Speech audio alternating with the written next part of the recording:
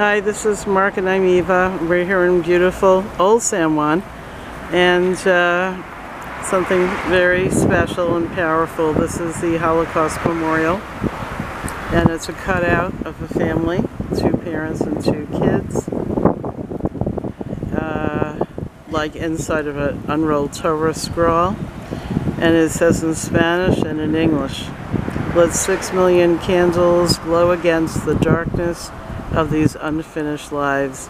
And in Spanish, que seis millones de bolas luminen la oscuridad de estas vidas truncadas.